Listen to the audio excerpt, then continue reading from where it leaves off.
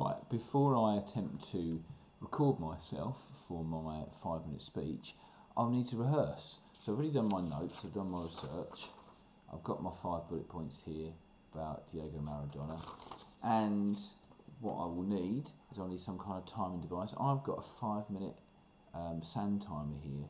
You may have something more sophisticated you wish to use, maybe a watch, maybe a mobile phone that bleeps, but uh, I'll be using this.